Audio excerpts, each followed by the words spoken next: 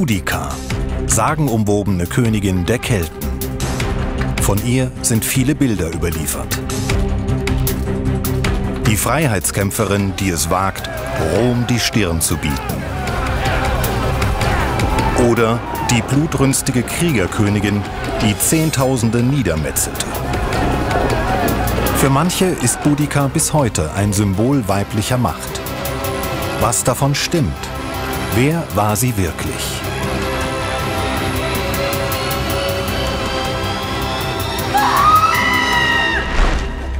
War Boudica eine Freiheitskämpferin?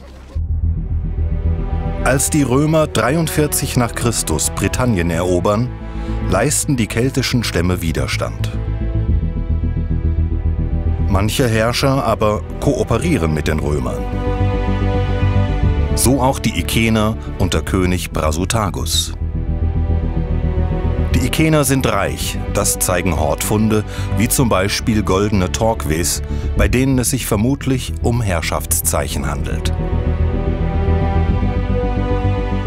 Ja, ein Torques ist ein gedrehter Halsring, an einer Seite offen und man findet diese Torques sehr häufig Einerseits in der antiken Literatur, da wird es also den Kelten zugeschrieben, dass sie solche Torques trugen. Man kennt es auch aus archäologischen Funden, häufig sogenannte Hortfunde, wo also dann vermutlich Weihegaben, bestehend aus einem oder mehreren solchen Ringen, niedergelegt wurden, im Boden vergraben wurden. Und man kennt es eben auch aus äh, Beschreibungen in den römischen Historikern. Prasutagus ist ein sogenannter Vasallenkönig und übrigens der Ehemann von Boudica. Als Herrscher behält er also teilweise Unabhängigkeit von Rom. Als er um 60 nach Christus stirbt, bricht der Streit um sein Erbe mit den Römern aus, wie der Geschichtsschreiber Tacitus berichtet. Nach Tacitus war es so, dass der König Prasutagus vor seinem Tod verfügt hat, dass es zwei Erben geben sollte für sein Reich nach seinem Tod, nämlich einmal seine beiden Töchter, die Mutter wird in dem Zusammenhang nebenbei bemerkt nicht erwähnt, und auf der anderen Seite eben den römischen Kaiser Nero. Tacitus erzählt uns nicht, warum er auch Nero bedacht hat, aber man kann natürlich sich jetzt alles Mögliche vorstellen. Der naheliegendste Grund war vielleicht, dass er sozusagen sich das Wohlwollen des Kaisers sichern wollte, indem er ihn auch zum Erben einsetzt und gleichzeitig eben auch seine Familie berücksichtigt.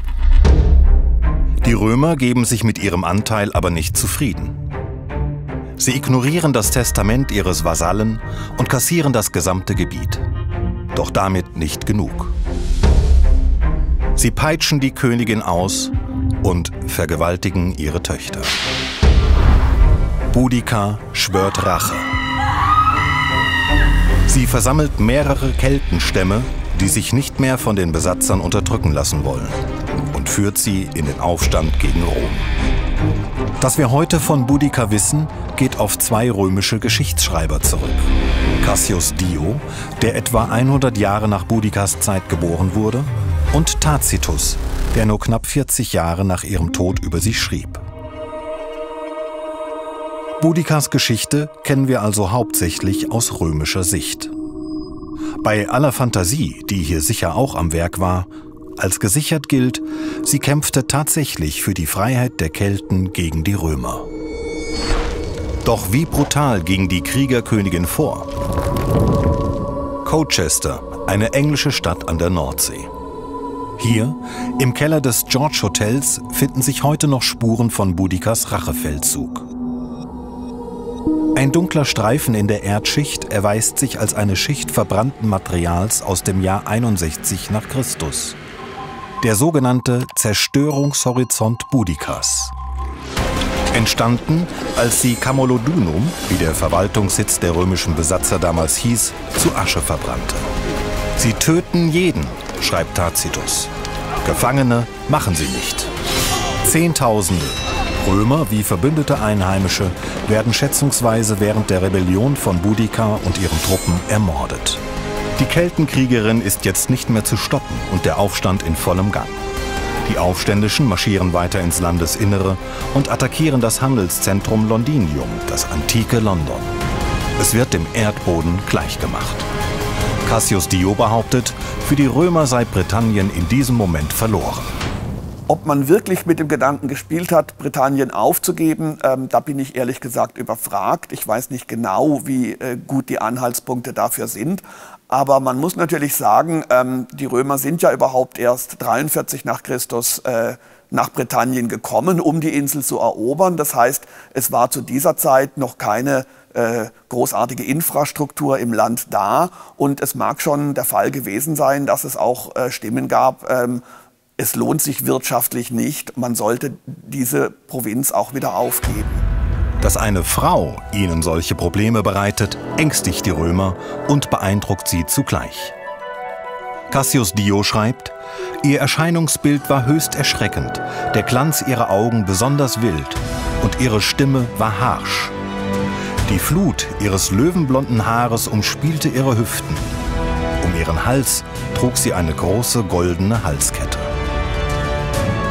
Die Erzählung um Boudica hat wahrscheinlich für die Römer so äh, eine gewisse besondere Stellung, weil man natürlich äh, jetzt davon überrascht war oder weil man es als überraschend empfunden hat, dass hier eine Frau die Anführerin dieses allgemeinen Aufstands in Britannien ist. Und es ist eben auch so, dass die Römer bei der Schilderung fremder Völker, also bei ethnografischen Schilderungen, häufig gerne auf das abgehoben haben, was sozusagen ungewöhnlich und anders als in Rom ist.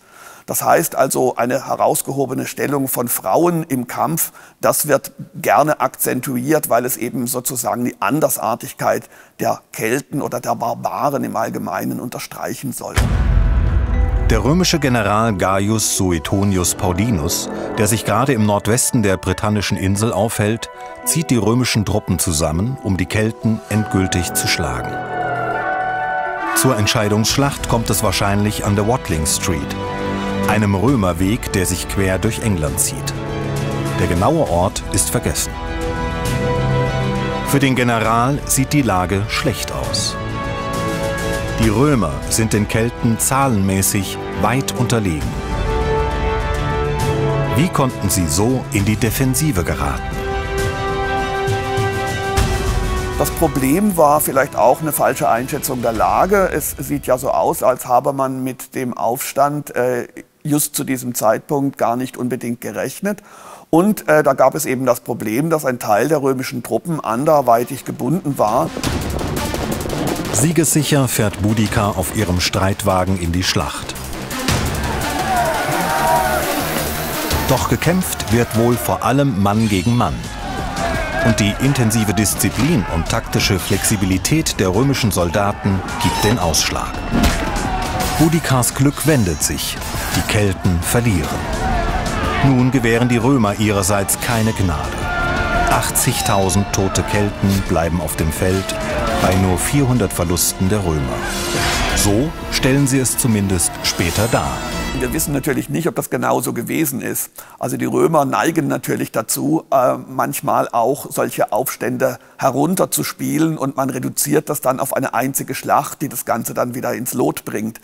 Es kann ja durchaus sein, dass sich das länger hingezogen hat, aber dass man das von römischer Seite eigentlich nicht so gern gehört hat, weil es eben auch dann zeigt, dass die römische Herrschaft in Britannien nicht so gefestigt ist, wie man sich es vielleicht gewünscht hat. Sicher ist, früher oder später verlieren die Kelten. Die Römer halten sich in Britannien bis etwa 410 nach Christus. Boudica überlebt zwar die Schlacht, doch nach Tacitus begingen sie dann Selbstmord. Nach Cassius Dio starb sie an einer Krankheit. Allein die Legende lebt.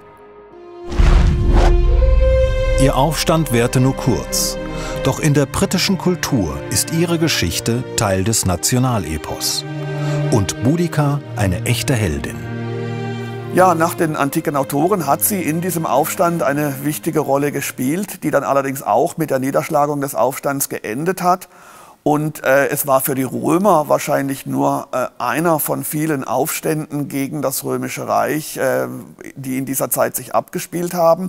Und ähm, historisch eigentlich ist das Nachleben dieser Figur eigentlich fast bedeutender als ihre reale Rolle im römischen Britannien. Für die Mythenbildung ist eine starke Führungsfigur und Ausnahmefrau wie Boudica besonders geeignet.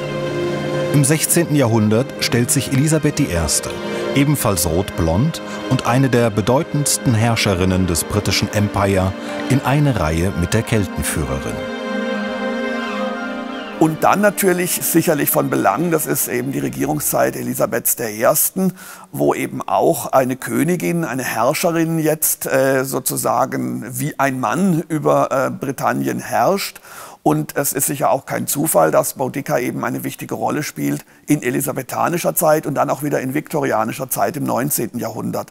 Das sind beides Epochen, wo man eben auch in England äh, sich sehr für die vorrömische Geschichte interessiert hat, für die Altertümer. Und ähm, es gibt eben auch immer dieses gewisse Bedürfnis, diese stummen Funde mit Namen und mit Geschichten zu verknüpfen. Als mit Königin Victoria im 19. Jahrhundert nach langer Zeit wieder eine Frau den britischen Thron besteigt, nimmt die Boudica-Legendenbildung nochmal Fahrt auf. Das britische Imperium ist unter Victoria auf dem Höhepunkt seiner Macht. Boudica wird als patriotische Heldin, die die Freiheit ihres Landes gegen fremde Invasoren verteidigte, zur nationalen Ikone. 1902 wird ihre Statue gegenüber dem Parlamentsgebäude platziert. Da kommt es gerade recht, dass der Name Boudica wie Victoria, die Siegreiche bedeutet. Auch die Eiserne Lady, Premierministerin Margaret Thatcher, stellt man gerne in die Tradition der Kriegerin. Bis heute begegnet man der keltischen Kriegerkönigin sogar in Videospielen. Hier erreicht Boudica, was ihr während des Aufstandes nie gelang, ihre Truppen bis nach Rom zu führen. Kennt ihr noch weitere heldenhafte Frauen der Geschichte? Schreibt es gerne in die Kommentare. Und wenn euch das Video gefallen hat, dann lasst ein Abo da.